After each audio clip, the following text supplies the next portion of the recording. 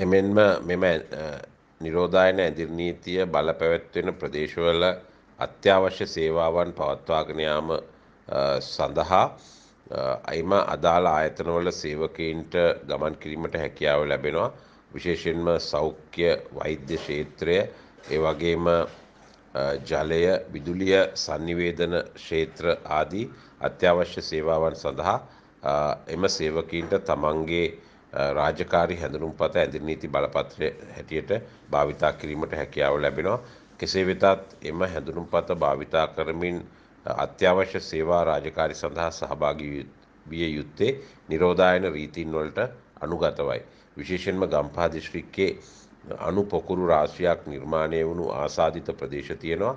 එම ප්‍රදේශයක නැත්තම් නිරෝධායනයට ලක් කර ඇති නිවාස ඇති ප්‍රදේශයක පදිංචිකරුවෙක් නම් සැම විටම ඔවුන් එම ස්ථානවලම රැඳී සිටිය යුතුයි.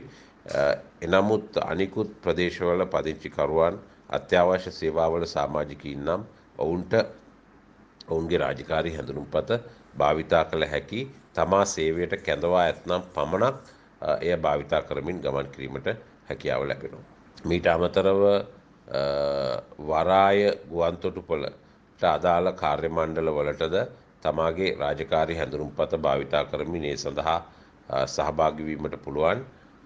එමෙන්ම ගුවන් තොටුපළ ගුවන් සේවා වෙනත් භාණ්ඩ සපයන කාගෝ ආයතන මෙම සේවක සේවිකාවන්ටත් තමන්ගේ හැඳුනුම්පත භාවිතා කරමින් අදාළ රාජකාරි සඳහා වාර්තා කිරීමට හැකියාව තිබෙනවා.